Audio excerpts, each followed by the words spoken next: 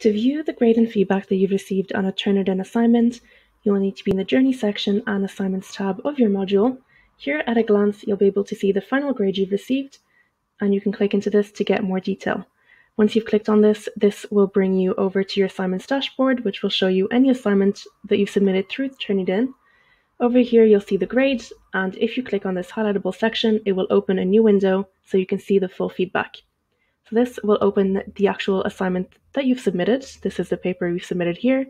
At the very top, you will see your final grade. And in the column here on the right, you'll be able to see any feedback that your professor has left for you.